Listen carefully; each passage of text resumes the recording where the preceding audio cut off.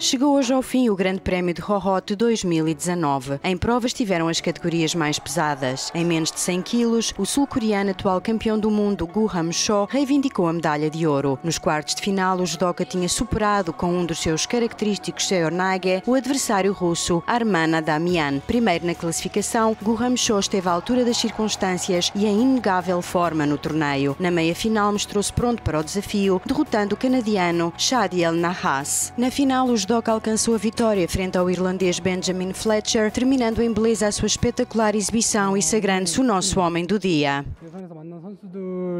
Hoje foi um dia muito difícil. Nos preliminares tive muitas lutas decididas no ponto de ouro, mas estávamos preparados exatamente para esse cenário e treinámos duramente. Apesar dos pontos de ouro, esta preparação ajudou-me realmente a vencer. Pretendo treinar ainda mais no futuro para ter resultados fortes nas minhas próximas competições e nos Jogos Olímpicos.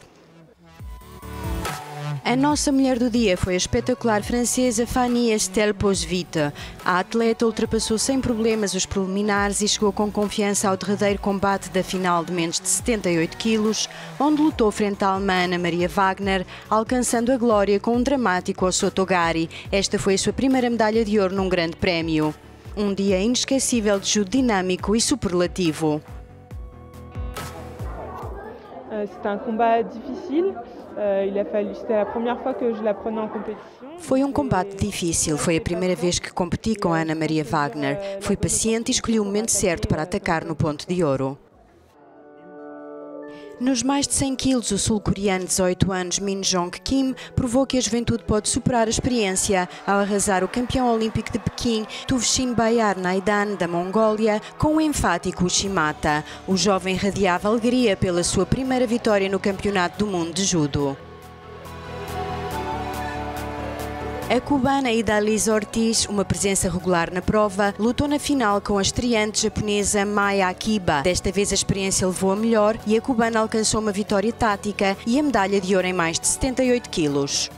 Na final de menos de 90 quilos, o nipónico Kenta Nagasawa defrontou o sérvio Nemanja Majdov. Um acrobático Shimata do poderoso japonês projetou diretamente para o lugar do topo do pódio. Tudo está bem quando acaba bem.